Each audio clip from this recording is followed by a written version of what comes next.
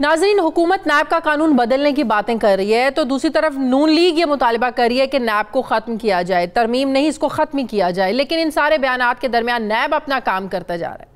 اور ریفرنسز میں حکومتی اراکین کے ساتھ ساتھ نون لیگ کی قیادت بھی آ رہی ہے۔ کہا جا رہا ہے کہ نیب نے سابق وزیر اعظم نواز شریف، ان کے بھائی شہباز شریف اور بیٹی مریم نواز کے خلاف Chaudhry sugar mills money laundering اور آمدن سے زائد اثاثوں کے بعد ایک اور ریفرنس تیار کر لیا ہے۔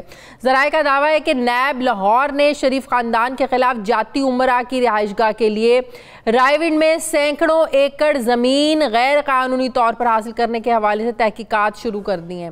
جبکہ شریف خاندان کے خلاف نیا ریفرنس جو ہے، یہ سات ارب سات ارب روپے سے متعلق ہے، جسے نیب کے ایگزیکٹو بورڈ کے اجلاس میں آئندہ ہفتے پیش کیا جائے گا، جہاں چیئرمین نیب اسے احتساب عدالت میں دائر کرنے کی منظوری دیں گے۔ دوسری طرف، اسلام آباد کے احتساب عدالت نے توشہ خانہ ریفرنس میں سابق صدر آصف علی زرداری، سابق وزیر اعظم یوسف رضا گیلانی کے ساتھ ساتھ نواز شریف کو بھی انتیس مئی کو طلب کیا ہے۔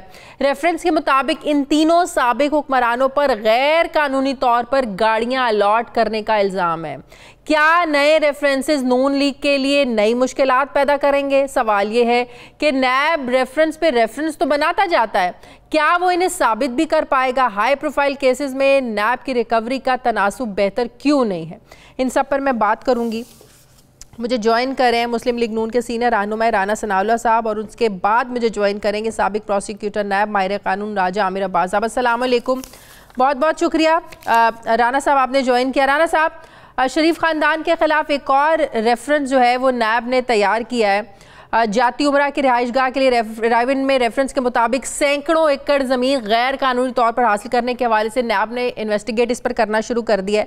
نیب کہتا ہے سات ارب کا نیا ریفرنس ہے۔ عام بات یہ ہے کہ اس میں نیب کے پاس پروسیکیوشن کے دس گواہ بھی ہیں۔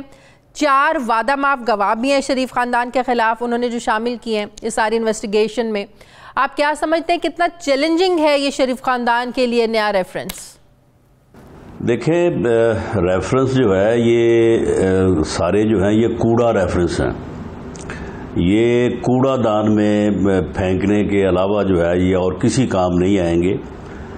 باقی ٹھیک ہے شہزاد اکبر صاحب جو ہیں وہ اپنی جو ہے، وہ کارکردگی کو چھپانے کے لیے، وہ وعدے جو پی ٹی آئی کی لیڈرشپ نے قوم کے ساتھ کیے تھے ان سے دھیان ہٹانے کے لیے جو ہے وہ اس قسم کا ڈرامہ جو ہے، یہ یعنی پندرہویں پریس کانفرنس تھی، ان کی جو انہوں نے کل کی ہے، پونے دو سال میں وہ پندرہ دفعہ یہ ڈرامہ جو ہے جو کر چکے ہیں۔ اور اس میں وہ جو بھی کہتے ہیں، وہ یعنی کہنا ان کا کچھ ہوتا ہے اور بعد میں حقیقت جو ہے وہ جا کے عدالتوں میں کچھ اور ہی جو ہے وہ نکلتی ہے۔ پہلے جو ریفرنس دائر کیے، ان کی کوئی حقیقت سامنے نہیں آئی۔ اور یہ جو ریفرنس اب دائر وہ کرنے کی انہوں نے بات کی ہے جاتی عمرہ کی جو ہے، ان کی اراضی کے متعلق۔ اور دوسرا جو انہوں نے کہا ہے کہ وہ پارٹی فنڈ کے متعلق۔ تو یہ سمجھتا ہوں کہ اگر عدالت نے جو ہے، وہ صحیح طور پہ اس چیز کا جو ہے، وہ جائزہ لیا تو یہ تو اس قابل بھی نہیں ہے کہ ان کو انٹرٹین کیا جا سکے یا ان کی سماعت کی جا سکے۔ لیکن ایک احتساب کے نام پہ ڈرامہ ہے۔ احتساب جو ہے نیب جو ہے رانا صاحب آپ لوگ کہتے ہیں کہ حکومت جو ہے وہ اپوزیشن کو سیاسی انتقام کا نشانہ بنا رہی ہے۔ نیب کو ایک ٹول کے طور پر استعمال کیا جاتا ہے۔ اگر ٹول اس کو اپوزیشن کہتی ہے کہ ہمارے خلاف استعمال کیا جا رہا ہے لیکن اتحادیوں پر بھی جو ہے نا وہ کیسز بن رہے ہیں۔ کاف لیگ آپ کو پتہ ہے وہ عدالت میں چلے گئے ہیں۔ کاف لیگ کہتی ہے بھی بیس بیس سال پرانے کیس ہیں، آپ یہ کیسے کھول رہے ہیں؟ کیوں کھول رہے ہیں؟ آپ لوگ یہ کیس آپ لوگوں کا بھی یہی موقف ہے۔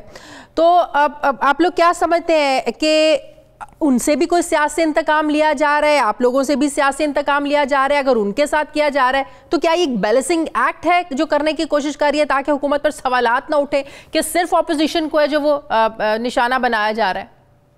دیکھیں، بات یہ ہے کہ پاکستان میں جو دو تین چیزیں بہت اچھی ہوئی ہیں، اس میں ایک تو یہ ہے کہ عدلیہ جو ہے وہ کسی حد تک، میں کسی حد تک کا جو لفظ ہے وہ میں بالکل استعمال کروں گا کہ وہ انڈیپینڈنٹ ہے۔ ججز کو ہراساں تو کیا جاتا ہے اور اس کی مثالیں آپ کے سامنے موجود ہیں، لیکن بہرحال جرت مند ججز موجود ہیں جو میرٹ کے اوپر فیصلہ کرنے کی بھرپور جو ہے وہ کوشش کرتے ہیں۔ دوسرا یہ ہے کہ میڈیا جو ہے، میڈیا ایک آزادی کا وہ لیول حاصل کر چکا ہے کہ تمام تر ایڈورس یعنی ایکٹیویٹیز کے، ہتھ کنڈوں کے جو ہے وہ میڈیا جو ہے وہ اس حد تک جو ہے وہ قابو نہیں آ رہا ہے ان کے۔ اس لیے میڈیا میں جب لان تان ہوتی ہے، جس طرح سے اب جو انہوں نے پریس کانفرنس کی ہے پرسوں تو اس کے اوپر جو ان کی درگٹ بن رہی ہے اور سوشل میڈیا پہ میڈیا پہ، تو اسے پھر ان کو جو ہے اس کو بیلنس کرنا پڑتا ہے۔ اور اس کے لیے انہوں نے پہلے دو بندے ڈھونڈے تھے، اپنا علیم خان اور سبتین خان۔ ان کو انہوں نے استعمال کیا، ان کے چکر میں جو ہے وہ ہمارے انہوں نے دس پندرہ بندے جو ہے وہ پکڑے۔ اب یہ اور لوگوں کو پکڑنا چاہتے ہیں تو اس کے لیے بڑا ضروری ہے، ورنہ نہیں تو لان تان بہت ہوگی اور پبلک ریئیکشن ہوگا۔ تو اس کے لیے پہلے تو انہوں نے فیصلہ کیا تھا جہانگیر ترین کا۔ کہ تگڑا بندہ جو ہے وہ بڑا بندہ پکڑتے ہیں اپنا، اور اس کے بعد جو ہے وہ پھر ان کے بندے پکڑیں گے تو پھر بالکل ہر چیز جو ہے وہ بیلنس ہو جائے گی۔ لیکن وہ جہانگیر ترین صاحب کا معاملہ جو ہے وہ تھوڑا سا جو ہے وہ خطرناک ہو گیا، اب اس سے پیچھے ہٹ کے انہوں نے پھر کوشش کی تھی اپنا چودھری پرویز لائی کی۔ اب چودھری پرویز لائی بھی جو ہے وہ ان سے بچ نکلا ہے، وہ عدالت میں چلا گیا ہے۔ اب یہ کوئی غلام سرور خان جیسا کوئی بندہ ڈھونڈیں گے ادھر ادھر سے، اور اس کو یہ پکڑیں گے، لازمی پکڑیں گے، اور اس کے بعد جو ہے وہ اپوزیشن کے ادھر سے ایک پکڑیں گے، اپوزیشن کے جو ہے وہ چار پانچ پکڑیں گے۔